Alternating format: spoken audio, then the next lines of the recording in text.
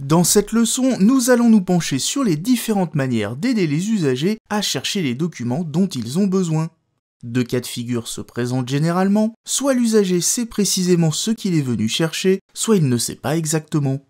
Le premier cas est évidemment le plus simple à résoudre. Si une personne vient vous demander un document sur les techniques de menuiserie, que vous allez lui en trouver un et le lui remettez directement, vous aurez rempli votre objectif en un minimum de temps. Toutefois, gardez en tête que votre mission n'est pas seulement de fournir un service, mais aussi d'aider l'usager à devenir autonome. N'hésitez donc pas à expliquer que vous avez trouvé l'ouvrage demandé au rayon des arts appliqués et à mettre en avant le système de classification utilisé pour le retrouver facilement. Dans le deuxième cas de figure, c'est-à-dire face à un usager qui a une demande vague ou mal définie, il s'agira d'observer et d'écouter avec attention. Prenez garde toutefois, il ne s'agit pas ici de juger, mais bien de comprendre. En effet, enfants ou adolescents s'expriment parfois maladroitement et il faut tenir compte de leur âge et adapter votre langage. Par exemple, si une fillette vient vous demander un livre de loup, demandez-lui patiemment si elle parle de la série de bande dessinée, si elle cherche au contraire un livre documentaire sur l'animal, ou bien si elle veut lire un roman écrit par l'auteur Virginie Lou. Ce jeu de questions-réponses peut sembler fastidieux, mais en réalité, il vous évitera de perdre du temps en cherchant au hasard.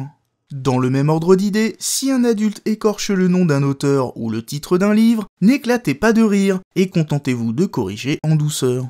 Gardez-vous également de juger le niveau de lecture des usagers simplement sur leur allure, et demandez-leur plutôt si le document qu'ils cherchent va les aider pour le travail ou pour les études, demandez-leur aussi s'ils découvrent le sujet ou s'ils ont déjà acquis des notions avancées, et adaptez votre service à ces réponses.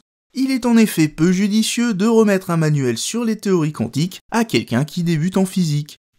Ainsi, c'est en combinant le besoin de l'usager et son niveau de connaissance que vous pourrez l'orienter vers le document le plus pertinent. Mais il y a un troisième facteur à ne pas oublier, la taille du fond documentaire avec lequel vous devrez composer.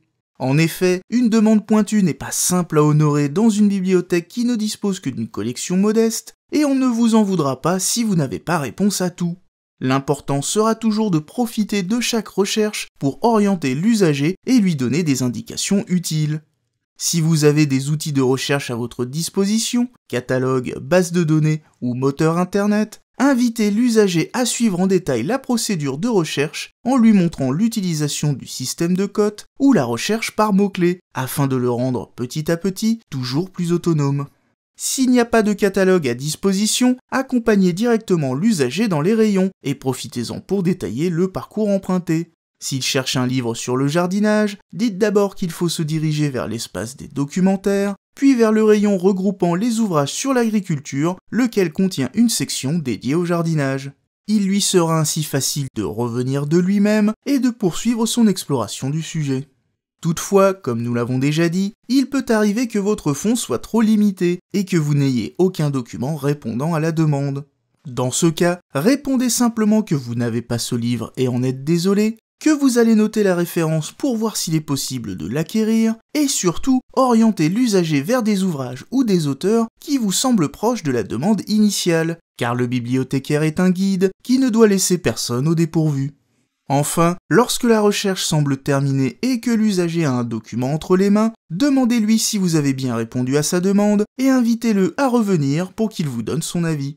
Pour conclure, rappelons que les études montrent qu'environ 70% des usagers s'adressent rarement, voire jamais, à leur bibliothécaire. Ce qui est bien évidemment dommage, car non seulement ils n'osent pas demander de l'aide, mais en plus, ils préfèrent repartir les mains vides quand ils échouent à trouver ce qu'ils cherchent.